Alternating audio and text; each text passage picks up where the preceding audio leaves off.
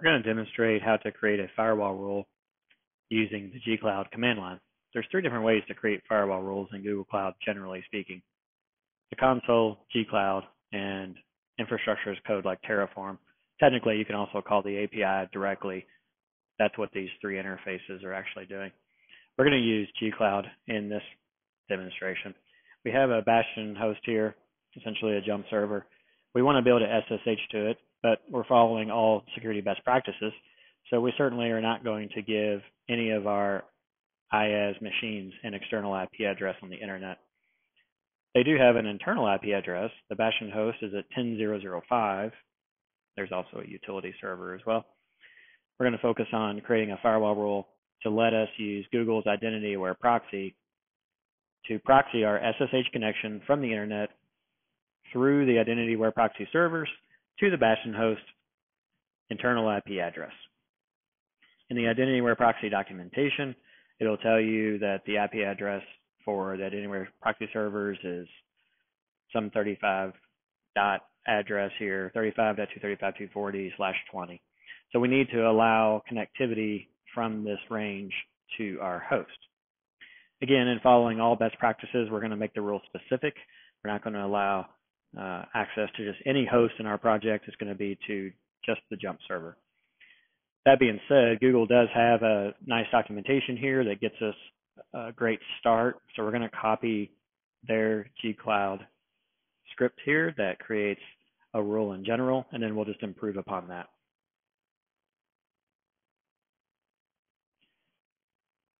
So one thing we need to know in order to create the rule is we're going to need to know the project. We're going to need to know the network that we're going to create the role in. We can get the project by listing our projects. So if we do gcloud and projects list, we'll get a list of the projects that we have. This demo project here has got this project ID. We also need to know the networks that we have.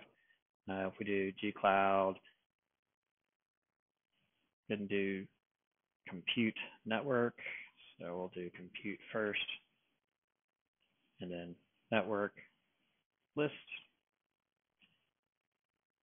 And looks like we have to have an S on the end of that, so we'll do networks list. All right, and there's the name of our network, Matilde-VPC. Okay, so we have the information we need to create the rule along with the start that Google gave us at any point, if you want to see the help, you don't have to exit out of the script that you're in. You can just add dash dash help onto the end and it'll automatically just dump the help out.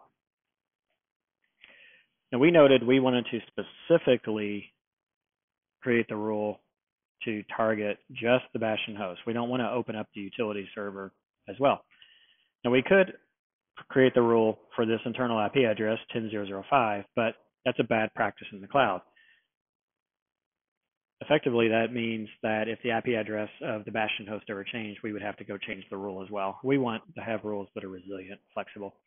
So we're going to add a tag to the Bastion host, which I've already done. If we go down to network tags right here, we can see uh, added a tag called Bastion host, also added another tag called IaaS host. We can target these tags instead of targeting the IP address. That way, if the IP of this network interface ever changes to something else, no big deal. The firewall will automatically adjust it'll get the new IP behind the scenes and everything will continue to work. Okay, with that in mind, we notice that we need dash dash target tags in order to use that tag. So now we're going to add target tags. Notice that the gcloud has tab complete, so I don't have to type out target tags all the way. I can just type out target dash T and then hit tab and it'll automatically fill out the rest we noticed that with the tag we can use is either Bastion host or IaaS host. I want to use Bastion host because I used IaaS host tags on other co computers and I don't want those being uh, targeted by this rule.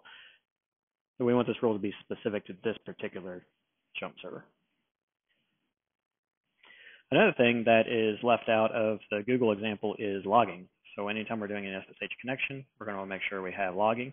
To do that, we just use the flag enable logging. That'll turn logging on for this firewall rule. Any connections that are allowed or denied will show up in the logs.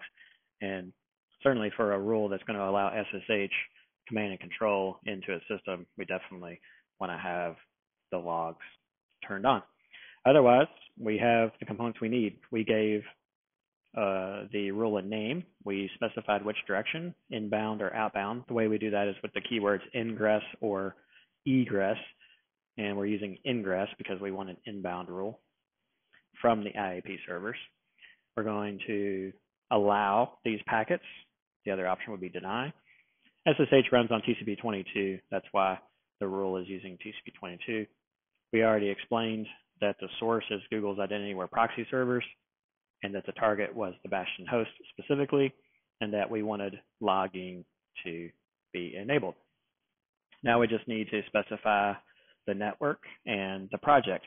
The project is already set in the configuration for gcloud, but if you needed to set the project explicitly, uh, you can do that. Also, the network is dash dash network we see here, and we already showed how to get the name of the network. It was Matilda VPC. So we're going to say network equals, and then we'll do Matilda VPC. We hit enter, and we wait for gcloud to carry out the firewall rule. Once it gets done creating the rule, we'll go test it. Now, at any point, if you wanted to list what the rules were, you can do gcloud